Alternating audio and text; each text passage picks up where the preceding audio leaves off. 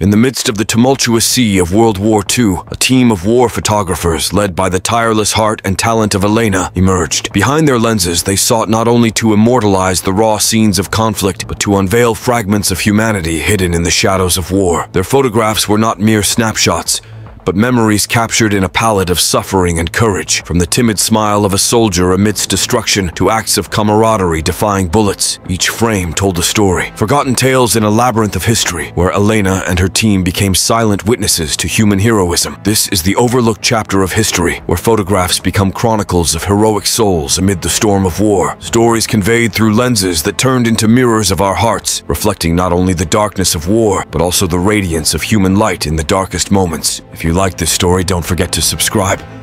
We'll be very pleased.